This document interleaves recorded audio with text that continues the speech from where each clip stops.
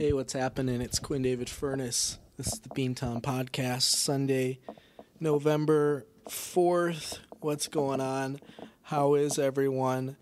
What's been happening? Happy fall. We're finally into the 50 degrees, getting some wind, getting some rain.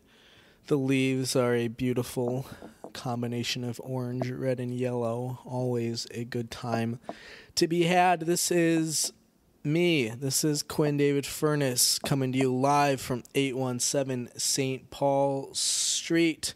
It's the Beantown Podcast, the People's Podcast, and one of Baltimore City's top 500 podcasts, as voted by you, the fans. Well, first things first. Listener discretion is advised when you are listening to the Beantown Podcast. Number one, it is objectively terrible, and today it's going to be objectively sad. This is going to be uh, maybe a rough episode, certainly a candid one. Uh, number two, the uh, podcast, uh, I, I mix that up. We we use some language here and there. You know, you get the gist. We've been doing this for ten months now. I don't think I have to explain everything to everyone. So you're probably thinking because I, I assume you know when you listen to the Beantown podcast you don't just listen to an episode by itself. You probably listen to all the ones leading up before it. So if you're on about hour 26 now of our anthology you know from last week that we anticipated coming to you live from the Appalachian Mountains this weekend. Why? Because we are going to be traveling there with the lady who I've been dating for the past several months. And uh, you might notice that we're not in the mountains and that there is no lady involved on the podcast. So, PSA to anyone listening, hoping to get their weekly chuckles in. Uh, this this episode probably won't have very many uh, chuckles for you. It's been a, a tough go of things uh, for a lot of different things. I think we'll probably focus most of our attention on, on the breakup for the next several minutes, but I am I'm pretty sure I have strep. You know, they say if you can, you know, shine a flashlight back in there and you see the white stuff all over your tonsils, then that's the the telltale sign. Also, for me, like I get sore throats always before I have my colds. But I just had my cold back when uh, we were on fall tour. Um, right after the uh, where were we? Right after the Bowling Green episode, he got sick. Uh, no, right after the the uh, Rockford episode with Matthew. You remember that because I was sick on the podcast. That was fun. The concert sucked. um, but I I've had this sore throat for probably four or five days now, and usually the sore throat is two days, then it goes away, and then I get the cold well, this sore throat is just sticking around, so it's probably strep. I need to go uh, try to get into the doctor sometime this week, get some antibiotics, but it's just not fun. It hurts to talk, hurts to swallow, trouble sleeping. You can just feel how inflamed it is uh, in the throat. So that's that's just kind of a bummer. You know, it's not a major thing, but just kind of a pain in the butt. And then uh, some other things happening here and there uh, since getting back to Beantown that have been tough to deal with. And then, uh, yeah, so on top of all of that, on let's see, Wednesday was Halloween. And you talk about Halloween being super spooky for the ghouls and the goblins and the, the tricks or the treats um, my Halloween ended up being a lot spookier than that because uh, my girlfriend, who I'd been seeing for a couple months, uh, broke it off with me. And there's a lot here. Uh, some of it just frustration, some of it sadness, some of it we're going to get a little uh, Seinfeldian with regarding some etiquette. But it was uh, the first thing to know is that it is one of those breakups that came completely out of the blue and one of those things I don't I still don't really understand. So I had gotten back from tour on last oh, 10 days ago, last Friday. And we'd spent lots of time together and everything was going great. Uh, we did her birthday party, um, you know, big house party with all her friends at her apartment, you know, cooking and getting the apartment ready and all that stuff. And, um, you know, she went wild and I'm, I'm at an age now where I, I can't, you know, stay up till 2 a.m. partying like I might have used to, been able to in college perhaps. But so they all did that uh, while I, you know, ducked out early and went to bed, but everything was good. And we even hung out, you know, early this week. Uh, and of course, we had reservations to go to. Believe the site was in uh, Virginia, but we had rented a, an Airbnb. It was a cabin. And um, yeah, it was going to be really fun getting away for the weekend, getting to spend some time with each other because I've been traveling seven and a half out of the last eight weeks. So I was really looking forward to that. And uh, let's see, Wednesday afternoon at work, uh, get a phone call. And basically, the message was uh, I'm trying to think exactly what it was. I think one of the points was moving too fast, which was strange to me because I'd been away for so long, so I'm not quite sure. Maybe she had the wrong guy. I don't know. But moving too fast, and she felt really empty inside and like she couldn't be the girlfriend she wanted me to be. So she said, Well, we need to slow it down. And I said, Well, I've been slowed down before. Look, this isn't my first rodeo. So do you want to slow down or do you just want to stop and of course you give some of that opening which i'm glad he did because i would much rather be stopped than slowed down uh, it's over so my first my the very first thing that went into my head which i think just shows where my mind is operating 75% of the time is that you can't and I, I, this isn't like me being super this is me being super sad this is just me like basically curb your enthusiasm you can't date somebody for three months and break up with them on the phone. Okay. Breakup etiquette. There have been documented Seinfeld episodes on this, but allow me to add to the anthology. You can't go through with the phone breakup. You got to at least give somebody the lunch date or the afternoon in the park, the walking date at least. I could handle the walking date, but you can't go three months where everything is, and this this was a, it, it, from my perspective, a very uh, good, very solid relationship, and that had been acknowledged by uh, both parties. Communication was great, uh, physical stuff was great. Just really enjoyed each other's company, and then just boom, face hits the wall, and uh, you can't. I don't know not that I, I don't think I'd feel any better about the situation if I had been broken up with in person, but just, you know, PSA for anybody out there. So let's let's talk about this a little bit. How long before you can't do the phone breakup anymore? I think everyone who's listening here can agree that you can't do the you can't do three months and then have the phone call breakup unless it's always been long distance and like I'm in Beantown and she's in Dubai or something. Then I get the phone call breakup because those plane tickets, especially around the holidays, are going to run you, you know, a thousand, twelve hundred bucks. But, but when you live two miles away from each other, the uh, phone call for the breakup just seems a little I don't even know what the right word is because I'm not like butt hurt over the fact that I got dumped on the phone. It's just like that's not a thing. Like you can't do that. So I think I don't know. Cuz what's the hierarchy here? Are we thinking ghosting, then text message, then phone message, then in person? I think that's a pretty fair uh, hierarchy.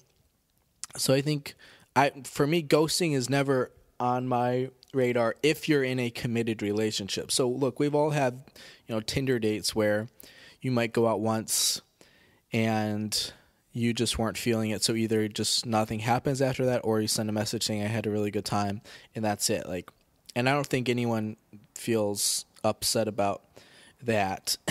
now, if you get ghosted when you're in like an actual relationship. So that's not cool. And I don't think that should be ever on the table. So let's move it to the text message. I think if you've gone on, you know, anywhere from like one to three dates, I think a text message is okay. Because I think three dates, for me at least, is plenty long enough to get a feel for somebody to see if like this is actually something or if you need to uh, pursue greener pastures. The phone call, I think it I don't know. For me and maybe I'm old fashioned, but the, the statute of limitations on the phone call doesn't extend much further. I think one to like maybe five dates is okay because look, if you've gone on a sixth date with somebody, we're already talking about a period of probably three weeks on average. That's almost a month of you guys going out. That's pretty significant. That's a lot of FaceTime. There are gonna there's gonna have been some uh, emotional bonds that have been forged. So I don't think I, I think five dates, and this is pretty arbitrary because I'm just doing this off the top of my head, is I think phone call. But after five dates, or let's say one month of you guys going out, like come on, you the phone call is not on the table anymore, and it's not like the, the this is the, probably the thing that bugged me the most. There wasn't anything leading up to this, you know, I did my research afterwards because I haven't I haven't been broken up with in a very long time. So I just these aren't emotions that I've experienced in a while. So I researched, you know, what are the telltale signs that your partner is going to break up with you, and none of them were were matching. Uh, yeah, I just don't have any sort of that's that's the toughest thing for me is there's just nothing that I was gonna say hey, warning sign here. So I apologize to uh, everyone listening. I was really excited for this episode because we were going to be, you know, in a in a new state from which we had never podcasted before, and we are going to potentially get the lovely lady on the podcast for the first time, which would have been a fun dynamic because we always have fun. it's funny to say now. Always had fun when we were together and I think that would have really come through on the podcast. But alas, we are sitting alone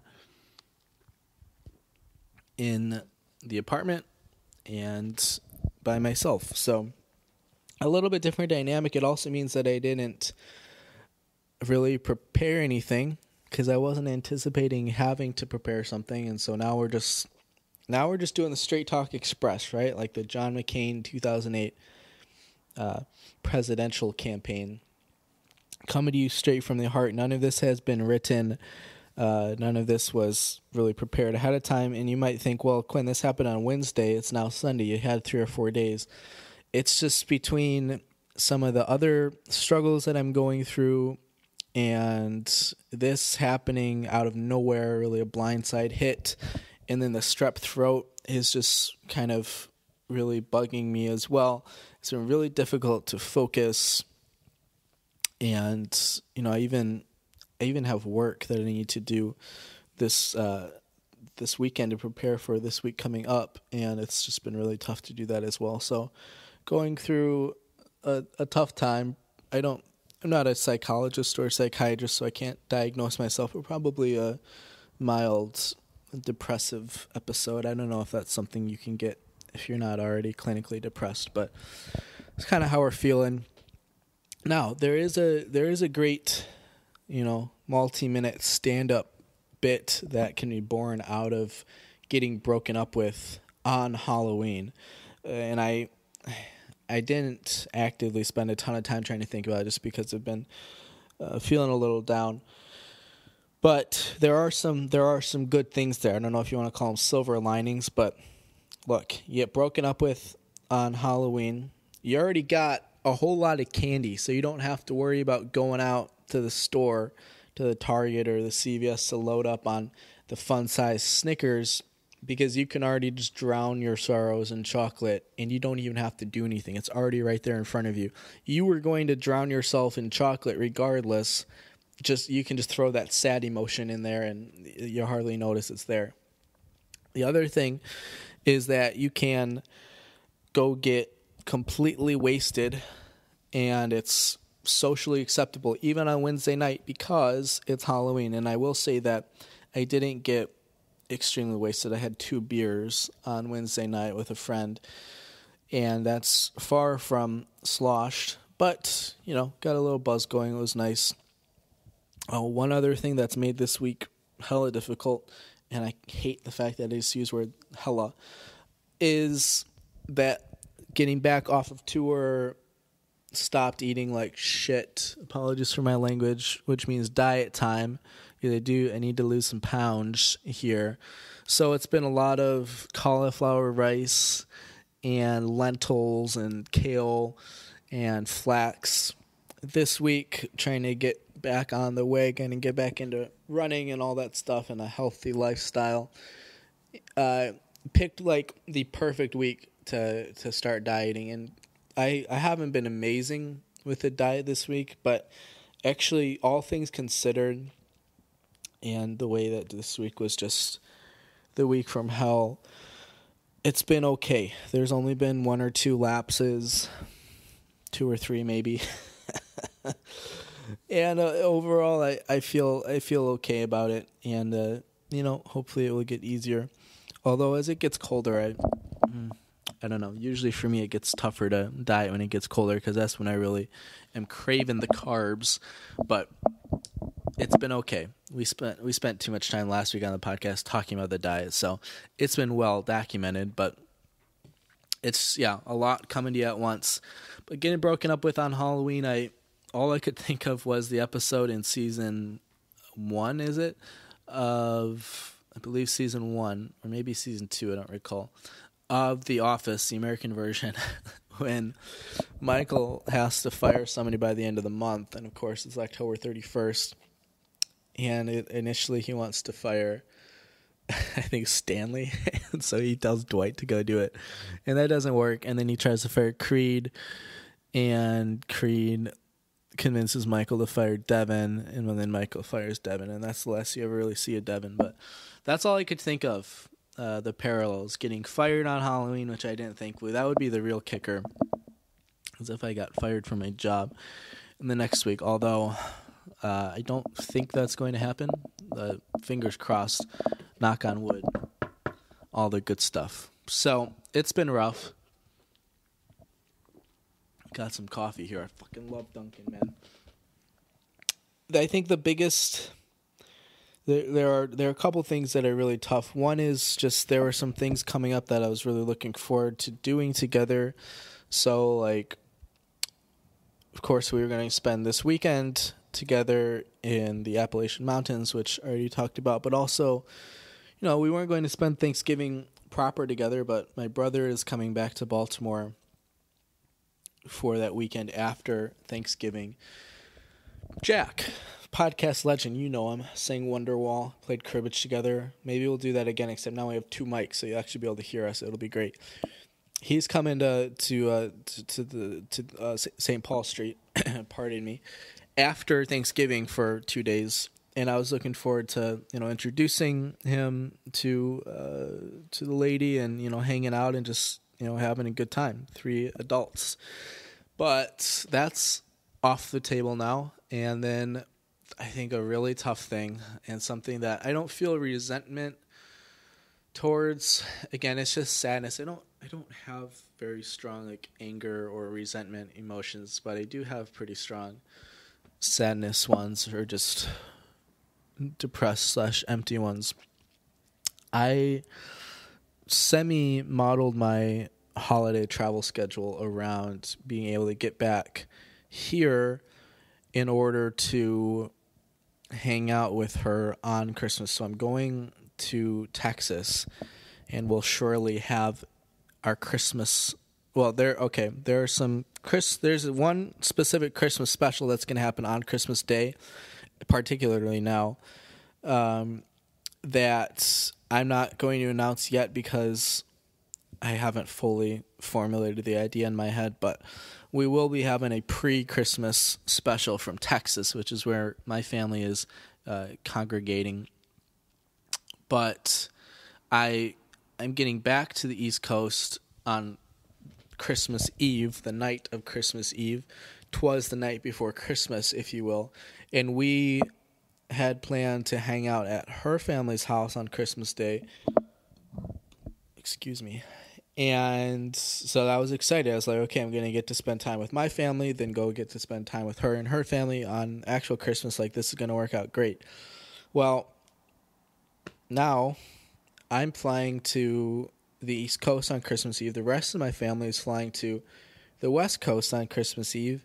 And guess which one of those is going to be home alone on Christmas Eve and Christmas Day, no pun intended. So it's going to be, you know, maybe when we get there, maybe it'll be the greatest thing of all time. Probably not, although I do have something in the works for a Beantown Unplugged special that day. So look out for that. But long story short, instead of the sweaters and the stockings and the fireplace and the hugs and the presents and all that stuff, what what you're listening to right now, me me sitting alone in my apartment, drinking coffee and bitching about my life. That's pretty much what Christmas Day is going to be like. And uh, for anyone out there who's like, oh, maybe we should invite Quinn to our family thing, don't worry about it. I wouldn't be much fun to have around, and I've got some artistic, creative things as they pertain to the podcast that are going to be happening on that day. So it's sad for now, trying to keep an optimistic look on it. So that's one thing that was really uh, kind of frustrating and has me downtrodden. There was there was another point that I wanted to make about it, the whole experience, and uh, maybe it will come back to me. But yeah, just for now, lots of sadness. It has been a a tough couple of days. Just yeah.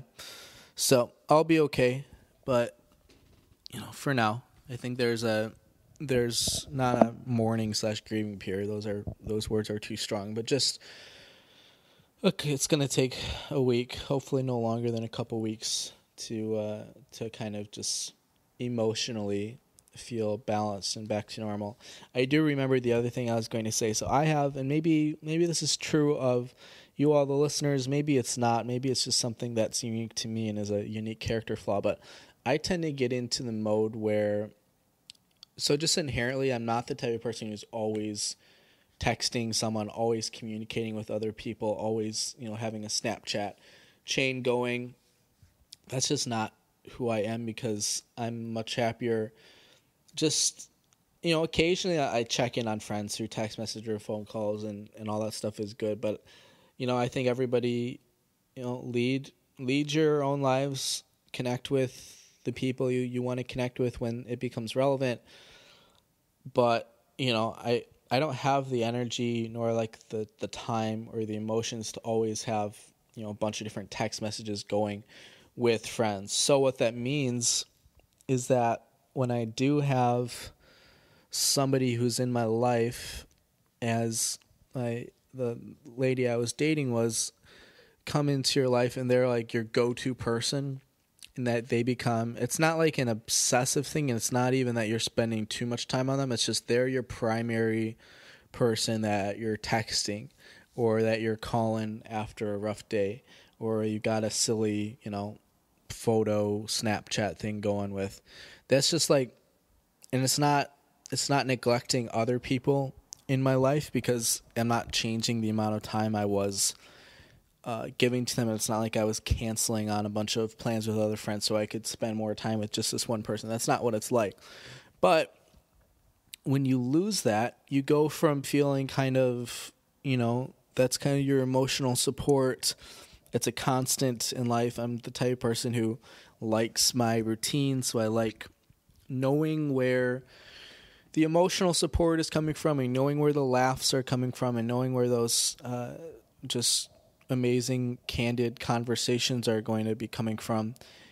And when that leaves you, when that ceases to exist, and, and when, when it happens in the way it did for me, where literally at 4 p.m. on Wednesday, everything was great, and I felt great about, pretty great about my life in general. And then, you know, literally minutes later that happened and then throughout the rest of the week some other personal things happening now having strep throat and then being grumpy because i'm on my diet and not having that emotional uh, support not having that rock that you are used to kind of leaning on relying on just being able to talk through your stuff with and there's been plenty of stuff before this even happened uh, not related to the relationship but to some of my own personal life stuff.